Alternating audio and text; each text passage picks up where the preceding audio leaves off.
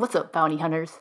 If you want to play Necromunda Hired Gun as soon as it's available, I've got the exact release dates and times for all platforms. Now, this information is directly from a tweet from this morning by the developers, linked in the description below. So, if any of this turns out to be wrong, blame them, not me. Okay, first for PC.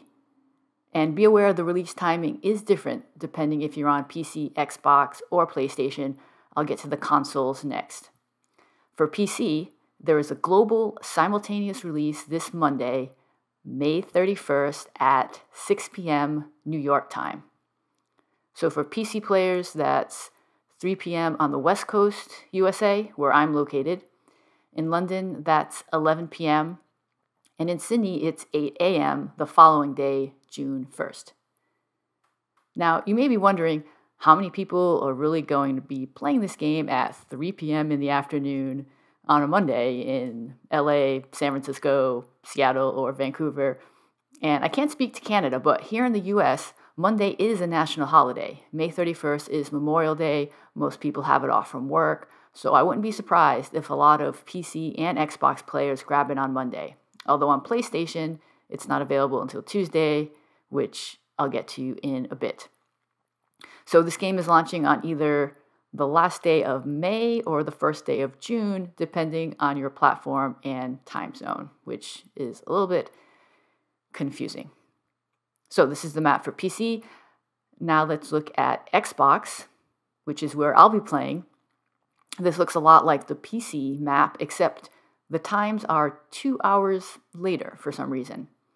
On Xbox, the global simultaneous release is this Monday, May 31st at 8 p.m. in New York, which is 5 p.m. in Los Angeles and 1 a.m. the following day in London. Finally, let's look at PlayStation. On PS, it is not a simultaneous release. In North America, Necromunda Hired Gun releases on PlayStation at midnight this Monday, or more precisely, Tuesday, June 1st at 12 a.m. local time. This is a rolling release, so East Coast players will get it three hours before West Coast, but five hours after London, which gets it at 1 a.m. their local time.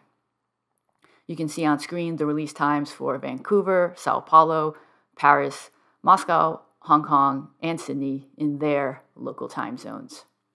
And as I'm making this video, I'm getting even more pumped to play this game with bounty hunters from around the world. Well, of course, it's a single player FPS, but it's always fun to be part of a global community playing the same game.